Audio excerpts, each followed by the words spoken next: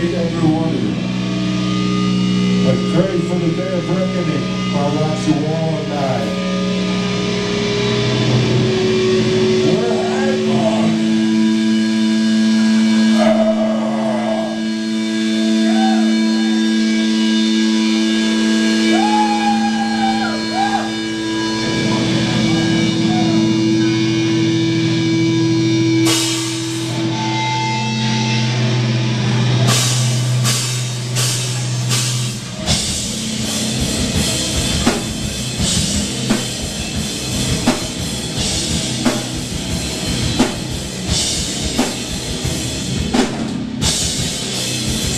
Yeah.